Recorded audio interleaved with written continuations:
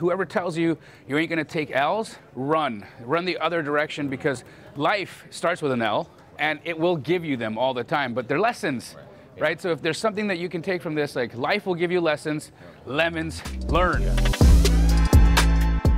YouTube, what's going on? Jamil Damji here with my brother and friend Vincent Clark. Been doing business with Vincent for 15 years. Real estate agent, made a relationship with back in the day um, from networking. And, and then networking, going to see a house, grew into dozens of deals with each other, back and forth, selling houses to each other, from each other. Like it was, it's been an incredible ride.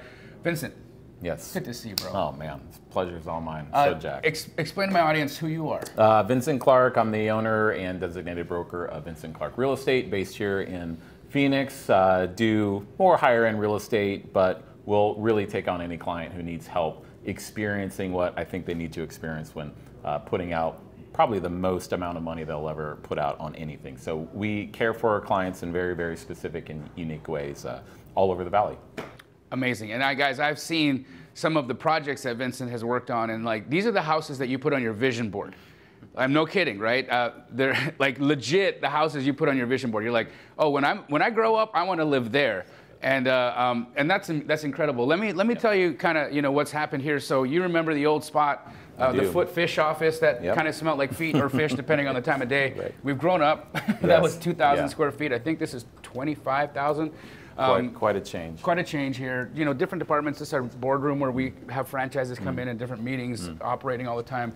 You know, not H, full HR department over here, full tech department over here. Yep.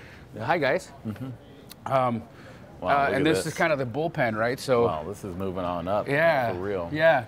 Two kitchens, um, but two kitchens. Uh, but yeah, we've got uh, some of our franchises, franchise teams operating over here. Our intake team, we've always been very good at creating and building buyers lists. Some of our, um, hello, some of our acquisitions team here, uh, a couple of our franchises that are highly active, working out of the office. We like to keep everybody together so we have more of a family feel. Sure. Can bounce ideas off yeah. each other and do more business with each yeah. other. Um, as we continue on, our act department, disposition department, Ronald Carter there is a beast. Wow. Hey, man, Andy, another beast. Wow. With the best mullet in town. Yeah, that's for real. And in the mustache. Town, in mustache town. to go with it. I love it. Um, and uh, uh, here we get into a New Reach, yeah. where uh, the education process of our of our business comes into play. Wow. So a lot of community support, a lot of people here to help folks grow, reach financial freedom, because mm. it's not easy. No. You know, and there's a lot of pitfalls, a lot of traps. Mm.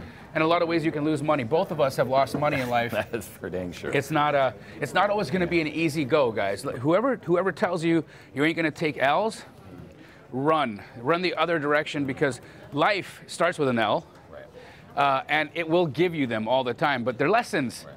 Right. So if there's something that you can take from this, like life will give you lessons, lemons, learn. Yeah. Yeah, as soon as someone asks you to do something that's in one of their pitches, I've never lost money. Yeah. Whoa. Okay, yeah. That should be a red flag. Yeah, so I guess I'm going to be the first then, right?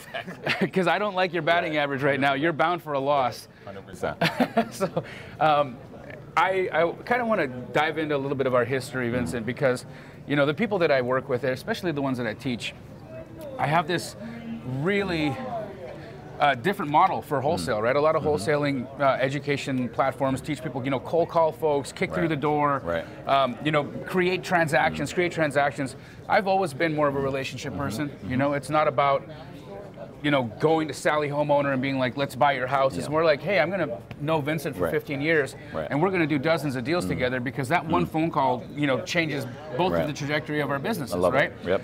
And so that's important for me. It is. I think. Is and not enough people yeah. understand no. that. So no. why don't we have a seat sure. and kind of chit chat about that process? You know how we how we've developed this relationship, how we continue to love and yeah. support each other. You know, even though it's been a minute since we've oh, worked man. together. Yeah. Well, one of the things I, I noticed, I mean, you, have you've touched on a little bit already, is we both view the money that we make as natural byproducts of serving people. Absolutely. And you know, whether it's uh, an agent, a client uh, me interacting with a wholesaler or an investor, it's always the same focus. Right. And if you do that right, which is what I've always appreciated about you, yeah. when we first met, uh, I could tell that this wasn't just transactional for you, right. and that laid the foundation for everything that we've done since.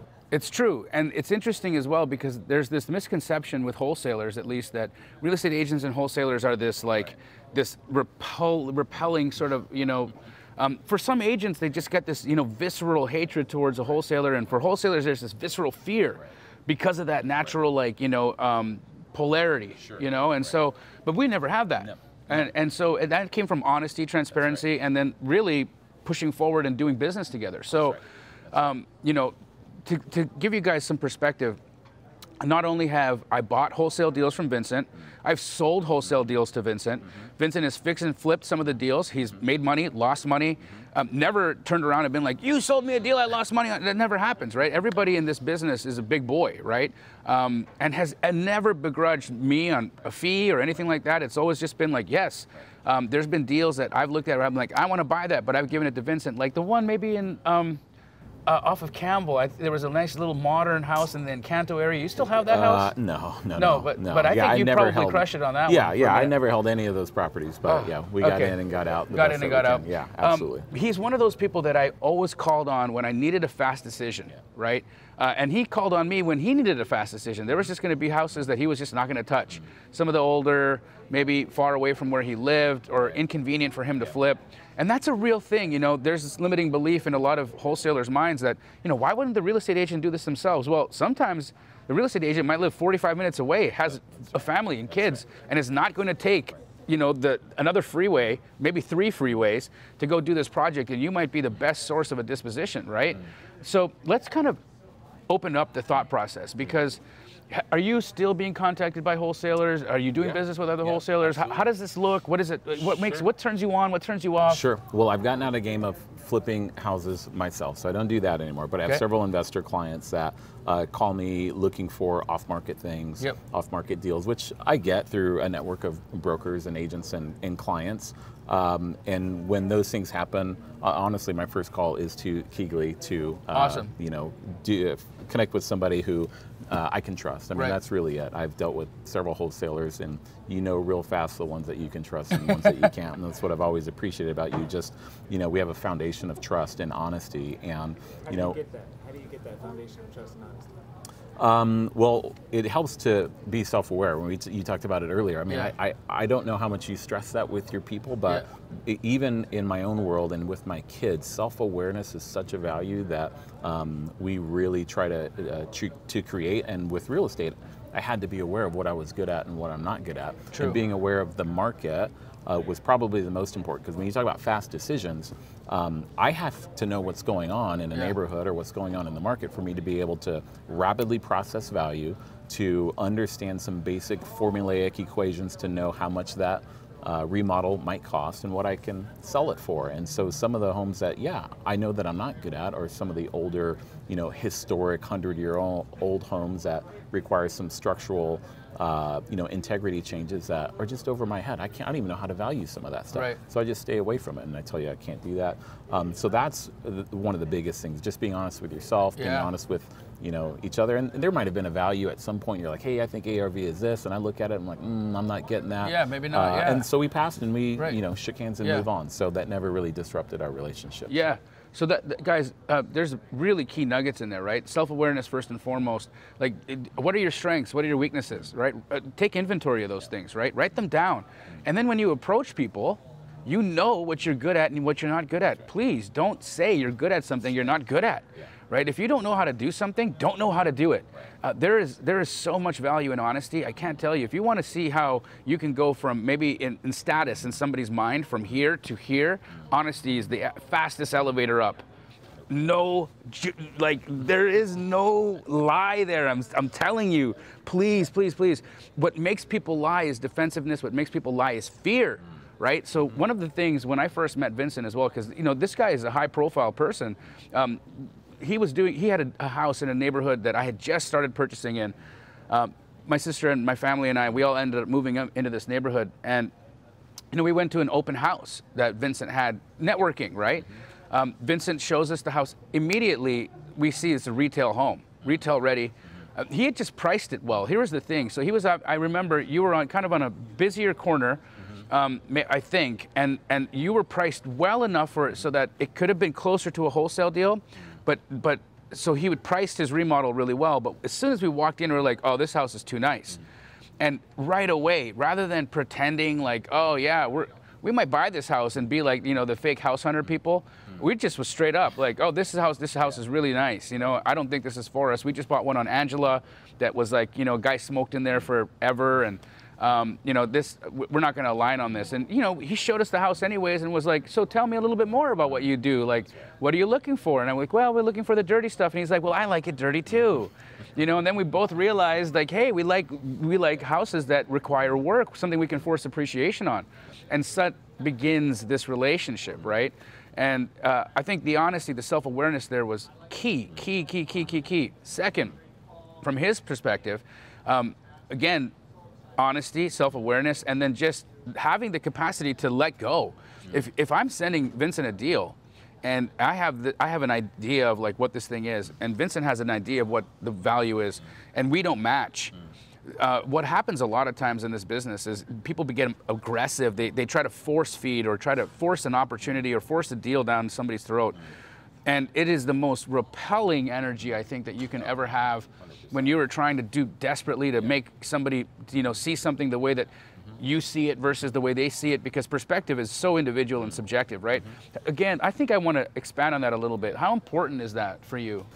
Yeah, whenever I get a sense uh, from a wholesaler that their one and only focus is money, when I get a sense that they're overvaluing not only, you know, the resale on, on the front side, or resale, I should say, you know, the sell to a third party or a second party or, or uh, you know, to an investor, uh, you can sniff that out really, really fast. So I start to question integrity. I start to question their honesty. When they give me an ARV that is so whacked out, yeah. I, I just I know that I can't trust you. Right. Um, and so from the beginning, uh, if I see the the price e- even out the gates is is so off based on the current condition, um, it puts me in a defensive posture. Like, mm, I know someone Jamil wouldn't do that, or Right. I know you know anyone at KeyGlee now wouldn't do that. Um, and so that level of initial uh, transparency and trust is good. Or you know what happens sometimes is that you know I'll go back and forth. I'm not seeing this value,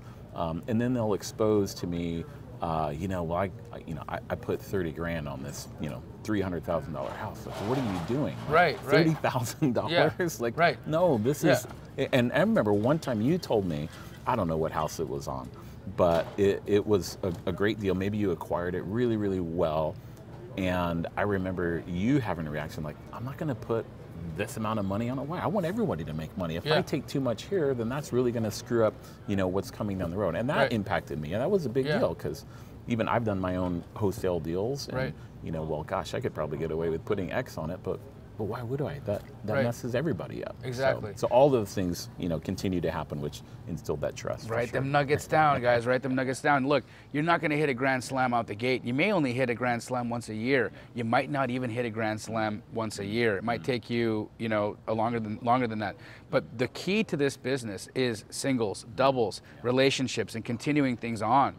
right? Understanding the win-win mentality. That look, first and foremost, if I send a deal to Vincent and I'm making ten thousand bucks, right? Well, he send, sends it to his client. He's going to make a little bit of money. He's he cares about what that client is going to be able to exit at because that's the relationship that he's worried about. That's a relationship that is long term for him, right? And so if I'm not thinking about not only Vincent but the person on the other side of Vincent, I mean that is that's how that's how broad you've got to take your awareness sometimes, especially when you're working with agents, right? Because they are in just like you as a wholesaler we are all in the service provider industry. We're providing services to people that are in this in this business. If you're not fixing and flipping you're in the service provider industry. Now if you're fixing and flipping you might be on the receiving end of the service which is a totally different situation and it's not that we can't wear multiple hats but know the hat you're wearing at the time you're wearing it is very very very important touch on the open house. Did you meet him at the open house? Yeah. Oh, you Yeah. at an open house. Yes. I've never heard you talk about that, like telling people to go to open houses. Yeah, so you know, interesting, interestingly enough, um, you know, I don't necessarily tell people go to an open house and, and communicate. But look, when you're in the neighborhood, you're passing by and signs are saying open house. Well, heck, if I have an opportunity to pull over and come in and shake the hand of somebody and say hi, nice to meet you, um, do it, right? Like you're there. I mean, the laziness stops you, right? I'm not ever going to say to you, hey, go find all the open houses and make friends with all the buyers agents in there. And very rarely does a does an agent of Vincent's caliber sit his own open house. This was a serendipitous situation, right? Um, I mean, when's the last time you sat an open well, house? back back then, I mean, the back in the day was different. You know, I'm, Okay. I'm building my Yeah, own okay. business, but yeah, I, I don't honestly, I don't know. it's been a long time. So it was it was an interesting it was an interesting you know uh, run in right because again it was his own deal. He had flipped it. Mm. He had, was the listing agent and so he was showing it. And I, I think that as part of his investment strategy him being the guy in the seat was what was necessary uh, but then also after that, Rahima and I just went in there and, and, and had a conversation. We were like, "Look, what's what's what's up? This is the one we bought down the road." And I don't remember if you even followed us to that or not, but um, I think we like decided, oh, we like each other there, and then exchanged information, and then that just turned into a snowballing relationship, right? It became it became a thing where you know, again, we just sat on so many different sides of the of the table, seller, buyer buyer, seller, uh, it, or uh, uh, buyer, seller, whatever that was, it happened in so many different capacities. Uh, and this is another thing I want to remind everybody of: is don't put people in a box, right? We have right here with us a real estate agent, broker, investor, wholesaler. Have you heard him say all of these things that he's done? So imagine this, right? You're sitting here in your little box, thinking real estate agents don't like wholesalers. Yet here we have a broker, agent, investor, wholesaler, all in one.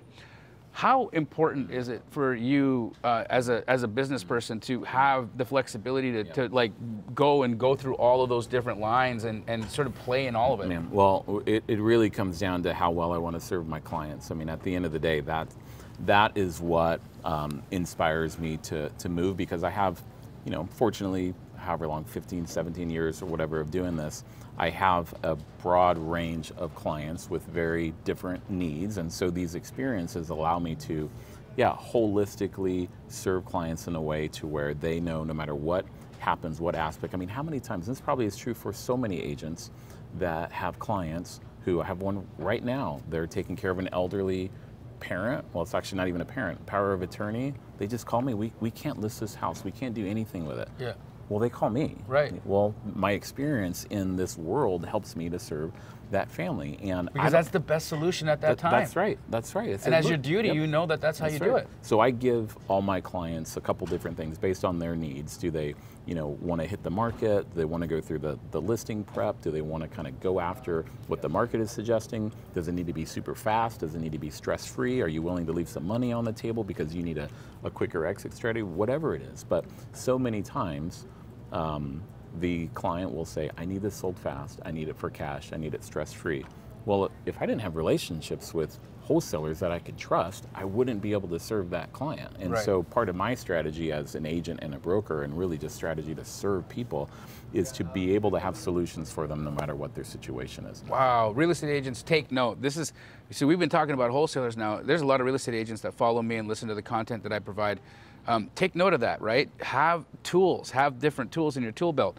Be able to service the client that isn't going to be able to have listing a listing prep situation. Be able to make repairs. It's not going to allow people to traipse through the house for showings. Like these things are important to people, and uh, people will trade potential equity for stress-free and, and, and, and quick, right? Remember, potential equity, right? Because it's the equity may not be there until the risk is taken. So that's the thing you want to remember, and you want to remind your clients that look, you know, everything that you're, whatever way you turn, whichever way you turn here, um, I have the best solution for you. And and one of those pockets and in one of those solutions, a trusted wholesaler is the best solution right? And so for all of these agents that feel like when they sell to a wholesaler, they do business with a wholesaler, they've left money on the table or that, or that they've somehow disserved their client. How do you get around that limiting belief? Well, you got to be honest and gentle and real with clients to, especially knowing that there's a chance when you get down to the close date, they see a settlement statement with two or three different people getting paid Yep. at, at dollar amounts that they think, oh shoot, well, I could have got that. I just left 15 grand on the table or, Right. or 10 grand on the table. Um, so it's building everything from a foundation of trust, honestly. Like if we take a client down the road, I have a level of trust that I've spent years building with all my clients to know that this is a solution, here's the transparency, here's what you're gonna see, here's what the opportunity is if you do take this route. If you don't, you're going to take a risk, you're going to have some more stress. That might be worth X amount of dollars, but you make that decision. True. Just know that if we go here, this is what it's going to be and it's going to solve for this. I mean, that's it. That's it. As transparent, I mean, trying to make something into something that it's not, including a home. This is what I tell some investors when they go remodel, like, well, I'm going to do this. Why would you do that? That has no market value. Don't do that. Yeah. The house isn't. Same with, with clients. Um, you know, I'm not going to uh, suggest or create a perception of a reality that's just not true. And if they choose not to use me, that, that's fine. There's so much freedom uh, in being honest. it Right. sounds, you it sounds terrible, right? Yeah, no, but it's, you, It's you sleep at night, you know, and it's like yeah. maybe this is not the client for Yeah, me. That's right. Right? Yeah, yeah, and and that getting to a point in my career of feeling confident enough to uh, walk away from clients um, because I've I've gotten to a point where if I feel like I'm constantly trying to convince my client to trust me, it's just which they should have trust, but I'm just at a point where uh, I'm not willing to go to certain lengths to convince somebody if I'm always trying to convince you, like, hey, this is just not going to work out. Um, and it's great, um, you know. We shake hands and go our separate ways. Beauty of it is that a, that doesn't happen almost never. Right. Um, and so it's been a successful journey for me to go down that road, and it's been great. Love it. Mm-hmm. I'm going to take a little bit of a detour here mm-hmm. because, as I said, I do have a lot of real estate agents that follow me that may or may mm-hmm. not have businesses that are built as robust as you and have the longevity that you have. What are some, like, a handful of nuggets that you could give to a new agent that may be trying to build their book of business, to create relationships? You know, where do you go to find them? What's your lead Yeah. generation source? Yeah. How do you how do Yeah. you prospect? Yeah. Well, here is where it gets a little different for me because I have agents, uh, young agents, come to me, you know, quite frequently asking if I can start teaching them, you know, how to be a successful agent. So going back to knowing what you're good at and what you're not good at, um, that was a, a, key turning point in in my life and my business was recognizing that hey, I am terrible at cold calling. I, I, I just I don't want to do it, and I'm not good at it. Right. Um, sitting at an open house trying to drum up business, I'm just not.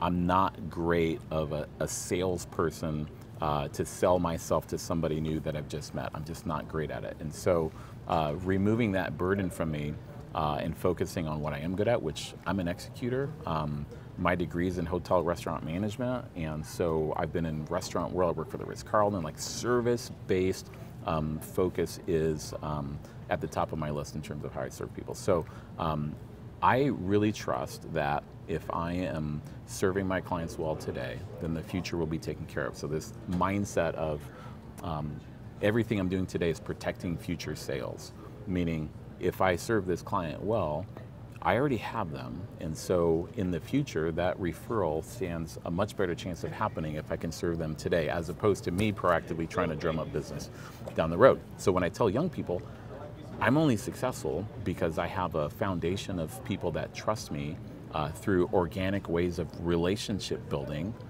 uh, that I'm able to build and snowball. And so, What are some I- of those organic ways? well, um, I uh, sponsor a lot of charity events. I put myself in uh, positions of proximity to potential clients to just build relationships.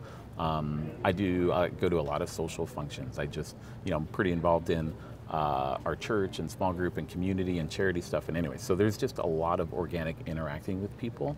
And I never bring up real estate Right. until the one person asks, "What do What I do do?" And then I'm talking about real estate for two hours. Right. you know, it, it, it never stops. And so, you know, again, kind of this It's an indirect. attractive force. well, yeah, yeah. I Right, mean, isn't it? It is, yeah. So People hate it when you walk around like, guess what I do? Yeah. This is what I do. Yeah. This is what I do. This is what I do. Yeah, Yeah. yeah. It's that indirect way of of, of if Measuring. you take yeah, take care of people. That, that money can't be your focus, and, and I've been super blessed to uh, go about it that way. But um, yeah, f- outside of that, I mean, relationship versus transaction is key, and people say that stuff all the time. But you know, anybody can sit through a real estate class classes and get their license. And anyone who's ever gotten their license, I'm sure have looked around at some of these people and just scratched their heads at how they get out of uh, their house in the morning, let alone having someone trust them with such a big purchase. And so the transaction, the mechanics of a real estate deal are pretty straightforward. But the, the relationship, the, the talent that I would say um, agents earn is being able to um, emotionally and psycho- psychologically being able to handle and care for a client's well-being in that space of making these purchases or making these decisions. I don't know how many times people have just asked me, um, you know, to speak into certain parts of their life, real estate or not, because they have a level of trust at my counsel and advice. Um, and that and that's it. So I focus on that more than anything. Um, I feel like every transaction I've ever done, I've put money into from a you know commission standpoint. That's a whole other conversation how agents process that and how deals get done. Um, but again, it's it's really just focusing on the here and now, the clients that I do have, and just trust that that referral network will snowball. 99% of my deals are, are referrals. Wow. And so there you go. Not a dime spent on marketing, not a cold call made. Relationships, relationships, referrals, referrals. Uh, it just so happens that when you do focus that way, you become one of the most successful real estate agents in the in the country, in the country, and especially in the market. When you focus on that exact same thing in wholesale, you become one of the most successful wholesalers in the country or, and in this market. Uh, see the alignment here, guys. The, the, things don't change, right? From industry to industry, from place to place, it's always foundational. It's always foundational. Relationships, relationships, relationships. Get out there and play. Have some fun. Let's let's speak to that for a moment because you do play. You go to charity events. You have fun. I've seen you with your family. I see how present you can be. I like. I love watching you on Instagram and seeing you at lunch you know, enjoying uh, brunch after church on Sunday and just like seeing that and seeing the commune that you have with the people that are around you.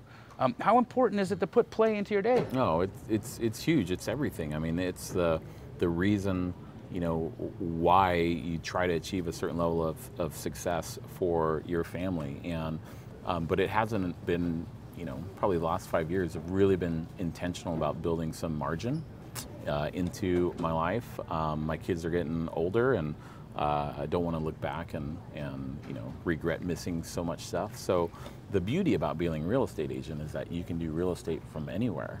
Um, but that's also the biggest curse, man. Goodness gracious. Um, you know, I find myself always doing work or, or putting deals together or negotiating something no matter where I'm at, which is great in its context, but it's also um, a killer sometimes. So um, yeah, I have a, a licensed assistant uh, that helps. I intentionally have built my brokerage uh, not to have a, a, a, 20 person team built out. Uh, we're not built or set up for volume.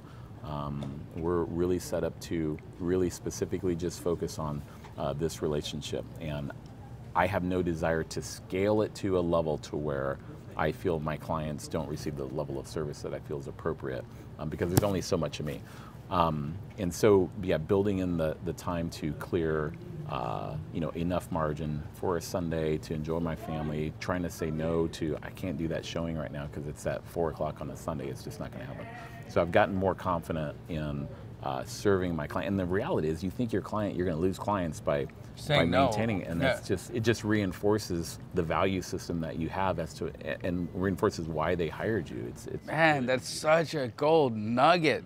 You guys, are, you guys are throwing your relationships down the toilet, or you're running away from your house in a crisis, or you're leaving your children and your, your spouses to feel abandoned because you went and chased a deal when things were necessarily you or you were needed at home right? And so, you know, I, have uh, I really respect that about you, man. It's not, that is not an easy thing to do, especially when you're self-employed and you know you are trying to build a business and create opportunities. There is something magical about where you value yourself, mm. where you value your time, and where you value the opportunity to work with you. Mm. Right? That's a thing. You got to think about that. Like, what is it? What is the opportunity to work with me like? And how do I value myself?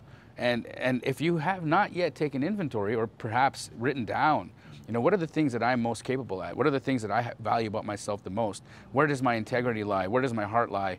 And, and how does that propel me in the business that I'm doing on a day to day basis? Then you haven't taken inventory into your gifts. And if you haven't taken inventory into your gifts, then how are you going to open those gifts up and show, share other people how incredible you are? Uh, Vincent, yep.